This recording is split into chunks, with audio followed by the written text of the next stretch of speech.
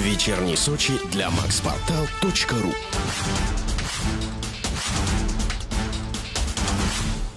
еще одна история, которая больше похожа на чудо. Сочинец в Краснодаре на отборочном этапе шоу «Танцы» покорил жюри и зрителей.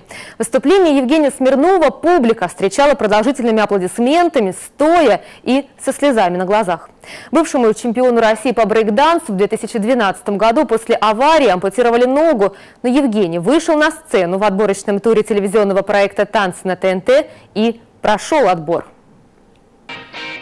Этот номер Евгений и Дарья готовили два года. Танец элементами стиля модерн и брейк-данс. Последним направлением Женя занимался почти всю свою жизнь. И лишь в 2012-м ему пришлось покинуть сцену.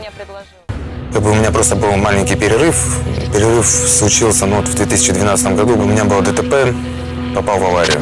На мопеде ехал, и так получилось, что ну, подкосили, сбили меня. В этом ДТП мне так получилось, что я лишился ноги. Вот сначала думал, что совсем все закончено как бы с танцами.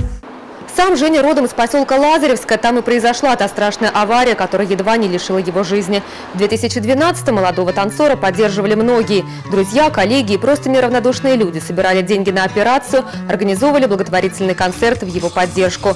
К сожалению, тогда чудо не произошло. Женя все-таки лишился ноги. Но чудо произошло позже, когда парень поверил в себя и встал на ногу.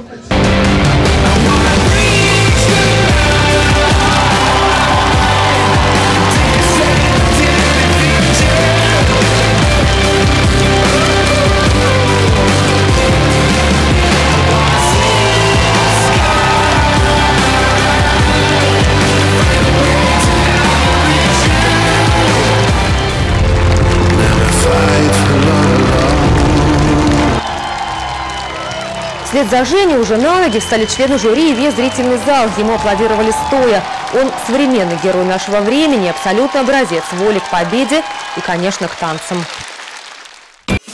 Все видео Сочи на maxportal.ru